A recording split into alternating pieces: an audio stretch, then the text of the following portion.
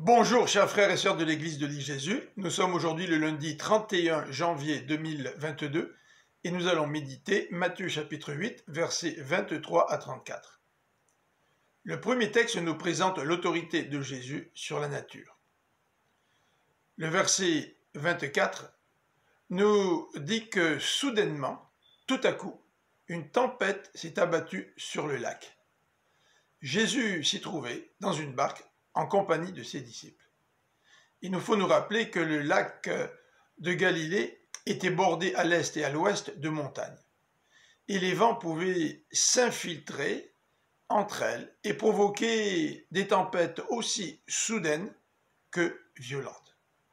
Le verset 25 nous dit que Jésus dort. Et les disciples, en panique, le réveillent en lui disant, Seigneur, sauve-nous, car nous sommes perdus. Nous pouvons bien souvent faire face à notre vie à toutes sortes de tempêtes. Et ce n'est que lorsque nous admettons que nous sommes perdus, que nous avons besoin de Jésus, que nous pouvons nous tourner vers lui pour qu'il intervienne dans notre vie. Au verset 26, Jésus pose une question. Pourquoi avez-vous si peur? Et il ajoute une constatation. Votre foi est bien petite. Jésus, à ce moment-là, parle aux éléments et un grand calme survint. Il démontre par là la puissance de sa parole et son autorité sur les éléments, sur la nature. Dans les versets 28 à 34, Jésus va démontrer sa puissance sur les démons. Il aborde le rivage avec ses disciples et deux hommes euh, sous l'emprise de démons viennent à sa rencontre. Le verset 29 nous dit que les démons lui posent une question. Que nous veux-tu, fils de Dieu? Es-tu venu nous tourmenter avant le temps?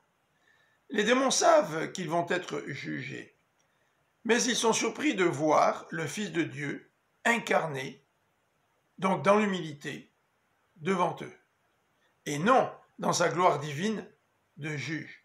Ils découvrent le plan de Dieu en Jésus-Christ au fur et à mesure qu'il se déroule.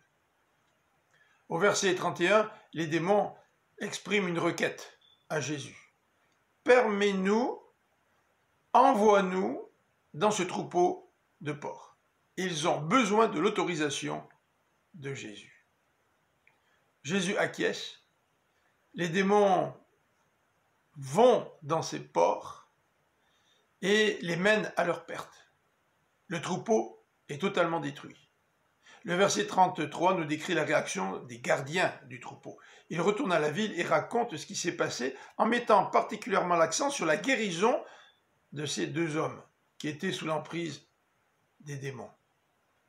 Et les gens de la ville, nous dit le verset 34, euh, ont accordé probablement beaucoup plus d'importance à la perte du troupeau, c'est-à-dire à la perte financière ou la perte économique, qu'à la guérison de ces deux hommes. Pourtant, Jésus vient de montrer sa toute-puissance sur les démons. Que le Seigneur vous bénisse. Je vous souhaite une bonne fin de journée. À demain.